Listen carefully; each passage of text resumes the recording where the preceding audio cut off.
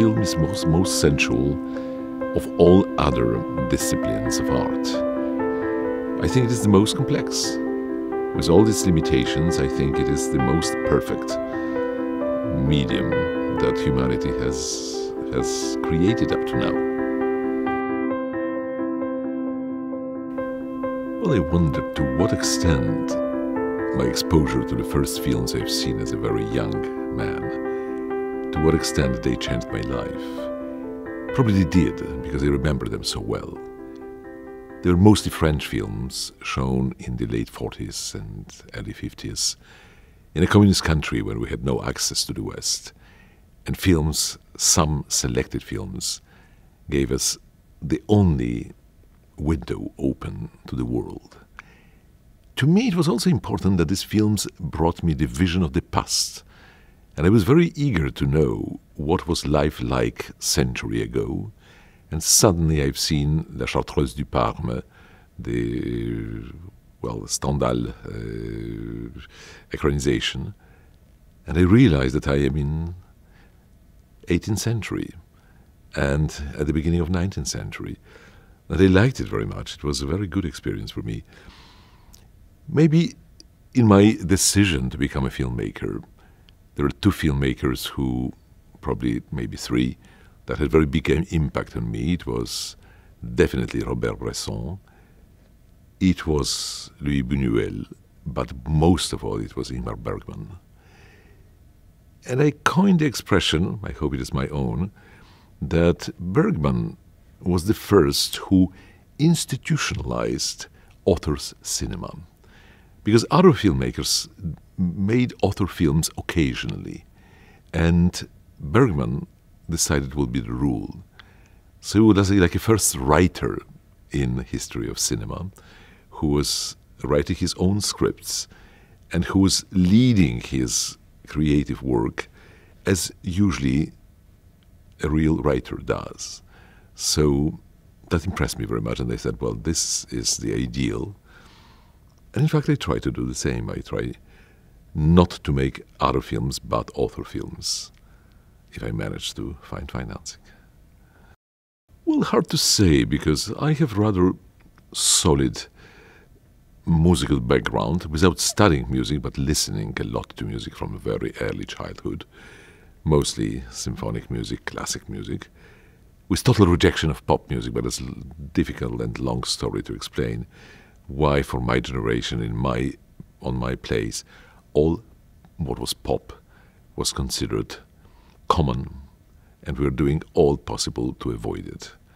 What sounds very snobbish today but it was kind of self-preservation program because the ex-privileged people desperately wanted to maintain special even if physically we were not special at all. We were dressed like all other people. We were uh, our homes were absolutely the same as any other person uh, had a home. So it was only culture made us different.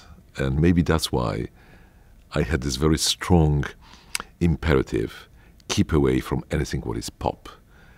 And in my school, what was just a regular school in city of Warsaw, I remember what a shame it was when somebody found a comic strip in somebody's hands, saying, Oh, you're an idiot, you read comic strips. That's good for idiots. It's a very insulting definition.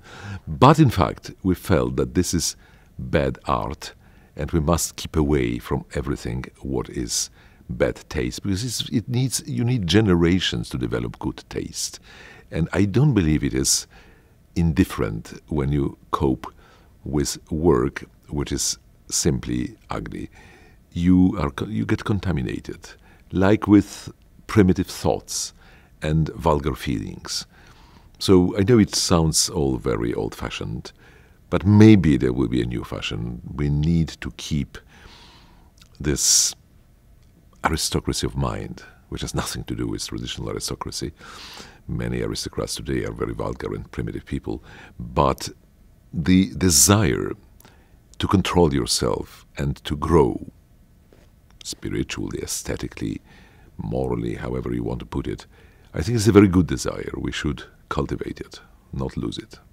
So definitely, I'm not a relativist. I'm not postmodern. I think these ideas are all wrong. It is not that I make them for myself. It is, it is one of the phrasings that people sometimes choose. I think it's arrogant and unnecessary. If film was a therapy, it is far too expensive.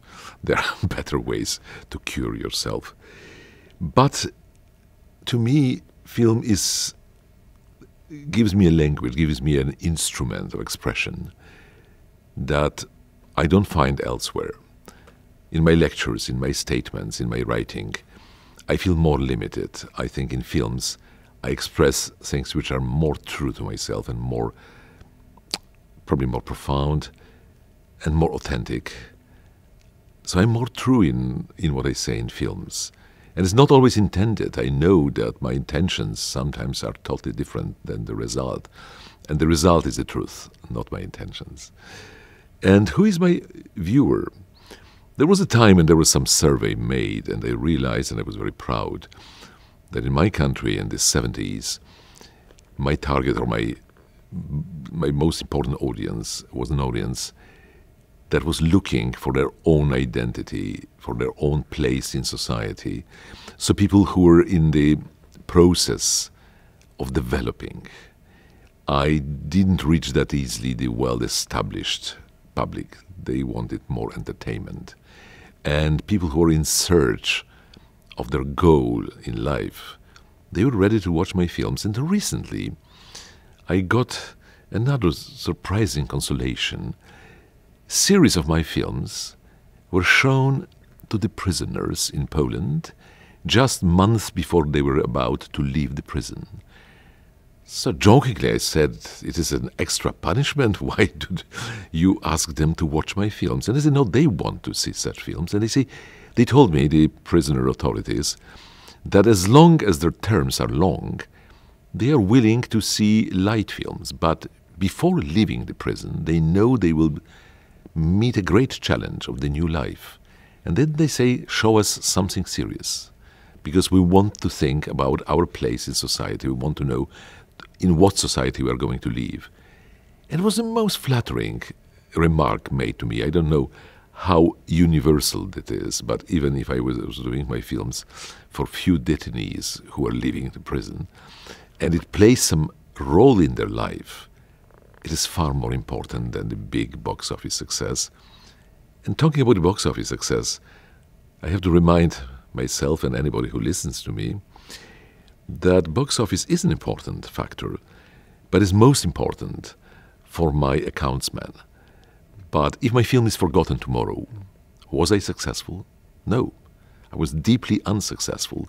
Even if the crowd was watching it and forgot it next day, means I left no trace. So I did it for nothing. It was just to pass the time. And time is precious. We don't need to pass it. We need to use it to grow in a way. So I probably sound like an old moralist. But I try to apply it to myself. If it is something is worth telling in cinema, it is if it really helps me and helps the others to understand better our human condition. It sounds again very pompous. But we have a problem to understand our human condition, and our lucid people face this problem. Only very simple minded or very people deprived of any power of reflection, they don't ask this question. So it is natural, I think. It is, it is part of human dignity to ask this question. If you don't ask it, I think your life is poor. There is big distance between my dreams and my expectations. I'm a realist, so my expectations are very low. And if I were remembered by somebody, even few people, that would be already a blessing. But of course, I would like to be well remembered by many people, and I would like them to feel that I gave them something when they watched my films. They may get acquainted with some characters, with some situations, with some thoughts, with some moods that they haven't known before that would be the the extreme program, the the big one. And of course, I would like my films to be screened in the dark hold with beautiful sound and great screen. But if I see that somebody is watching my film on the cell phone, I'm also happy because it is a blessing that somebody gives me even a little bit of his or her attention. So this is the minimalistic program. Remember something. Maximalistic program. Remember all. Cinema, well, art is a permanent, continuous confession. So you have to be sincere and you have to be in peace with yourself and not lie to yourself because if you lie to yourself, you will lie to your audience. Your audience, however stupid it is, is very sensitive to the lies and they know that this is a manipulation. And sooner or later, they will reject it. So it is worthwhile to be sincere, to be frank, and to be in peace with yourself, and to see yourself clearly in the mirror. So that's my first advice. Well, I think we're living in a globalized world and we are not prepared. So it is crucial for young generation to open their minds to other people, to other cultures, to other civilizations, to other generations, to other nations. You have to open your mind, otherwise, you will be in trouble because you won't understand why other people behave differently. You won't understand their feelings. You will have no empathy to them. So cinema is came in on time. It came timely when humanity needs cinema badly. And it is not provided by television. It is not provided by regular commercial uh, cinema nets. It is only provided in special places where there are festivals and special screenings. So I think for lucid young Americans who are studying here, this is more important than probably most people understand because it's an exposure to, to the reality that otherwise they will miss. And it is dangerous to miss the reality. It is always beginning of lunatism, and lunatism is not a good, good position of mind. So I really think these places and these initiatives are of crucial importance, even if it seems that this is just a corner of entertainment and that people have other more important things to do when they study law or economy. Not true. In order to study economy, law, or whatever, you have to have some view of the world and of yourself and of other people. And this can be reached just in this place where you see on the screen life of other people of other countries, of other epochs, and you see life of different social classes, different generations, and you are exposed to the situations that you have never encountered in your life. So I strongly believe it is very important. It's usually underrated, underestimated by universities that the, such places. And to me, maybe because I'm part of this industry, they are so important. They will give all money to develop them. Well, first of all, I was very impressed by the venues. It is incredibly beautiful and is not indifferent where films are screened. Like in gastronomy, it is not indifferent for culinary art what kind of china, what kind of plates you use. So here it is served in a very, very elegant ambiance. I was very impressed. It justifies all the effort of long travel across the Atlantic.